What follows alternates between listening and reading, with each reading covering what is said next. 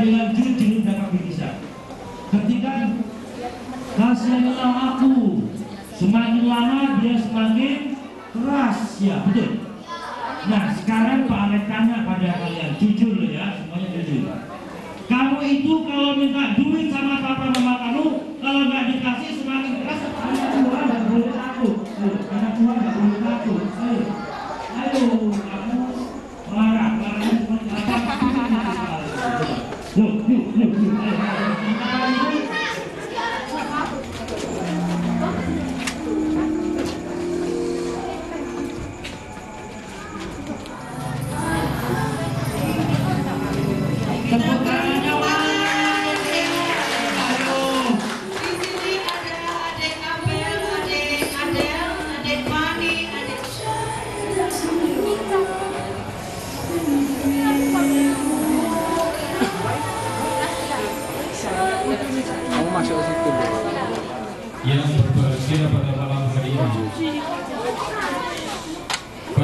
hari ini saya secara pribadi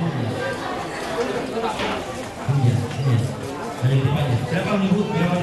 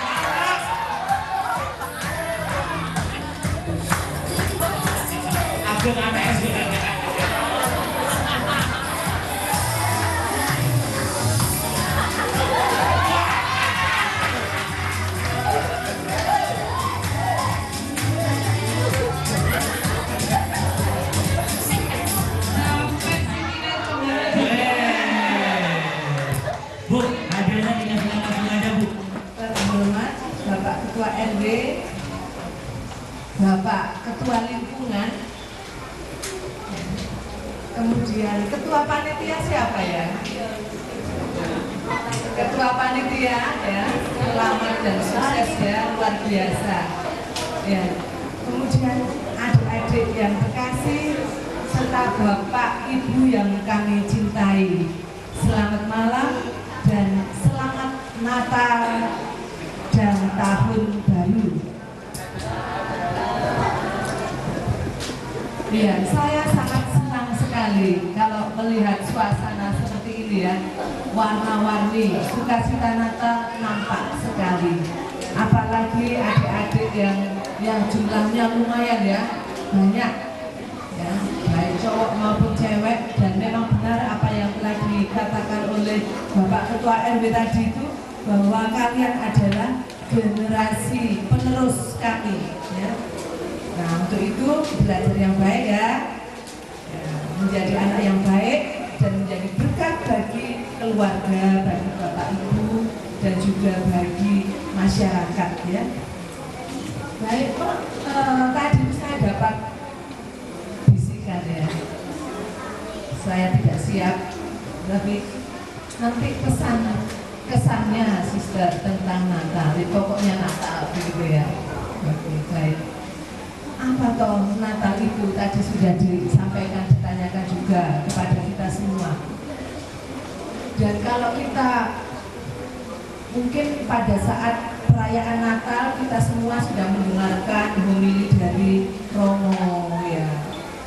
Kita semua juga sudah mengetahui bahwa Natal adalah untuk merayakan kelahiran Tuhan Yesus ya. Tuhan Yesus yang lahir dalam kesederhanaan. Ya. Kalau kita melihat kandang ini, jadi menyimpulkan tanda kesederhanaan ya. Semoga kita pun juga dalam kesederhanaan itu tetap bersuka cita. Karena orang bersuka cita bukan terletak pada kemewahan dan kekayaan, kesejak, eh, kesederhanaan itu membuat kita untuk merasakan bahagia dan tetap bersuka cita. Lalu besok kita sudah merayakan hari raya penampakan Tuhan. Kalau hari raya penampakan Tuhan kalian ingat itu apa? Ayo. Anak-anak, ayo apa? Yang kelap-kelip seperti lampu ini dinamakan apa? Lampu yang kelap-kelip ini menandakan tidak apa tuh ya? Kalau di langit sana bintang, iya tanda bintang. Kemudian siapa yang berjalan-jalan, ya mengikuti bintang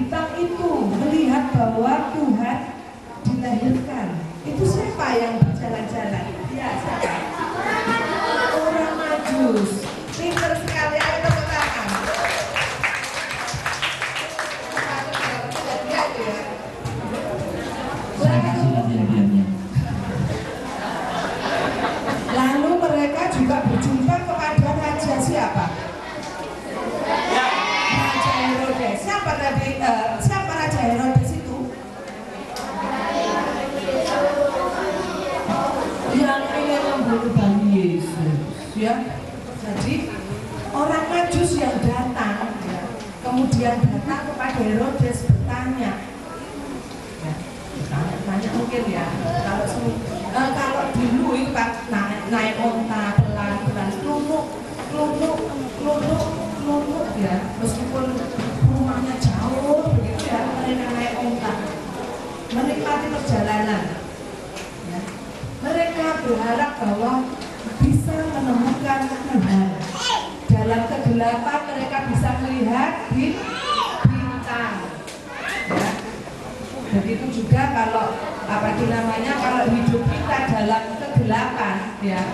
Kalau hidup kita kegelapan kita tidak mau eh, apa mendekatkan diri pada Tuhan kita tidak bisa melihat terang tidak bisa melihat bintang ya.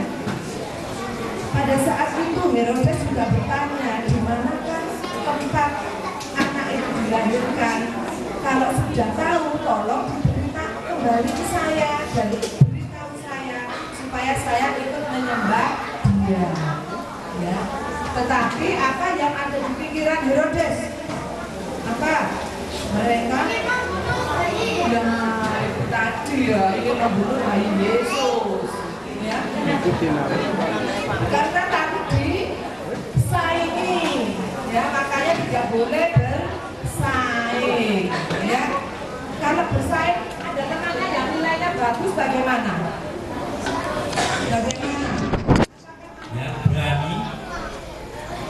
pasti kita akan mendapatkan sesuatu. Tapi beraninya yang benar loh ya. Kalau menurut kamu, anak-anak perhatikan ini depan ini, tolong perhatikan ya. Oke, Adit maju ke depan. Eh, tepuk dulu Bang. Oke. Oke. Pada hari ini saya akan berikan sulam, berikan kartu dan sebuah buku. Nah, di sini saya akan berikan boleh kasih lihat. Empat peluru. Boleh dicek. Empat peluru. Empat peluru. Kamu harus menembakkan. Hah? Ini ada pelurunya tidak dua ini. Ini tidak dua ini. Tembakkan. Oke. Thank you lagi. Nah, pada hari saya akan bermain lagi sebuah buku. Dan saya akan memprediksi buku ini.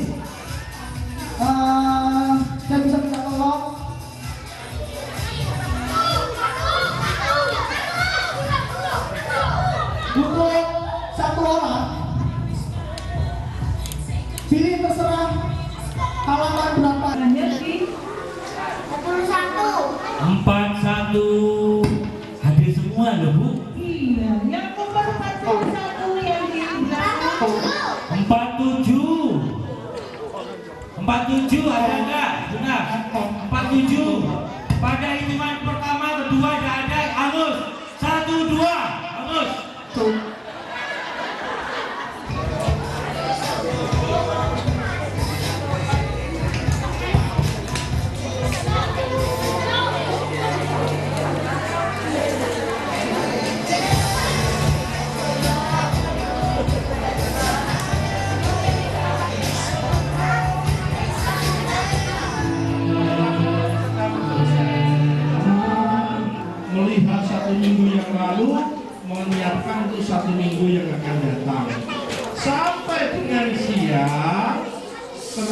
I'm doing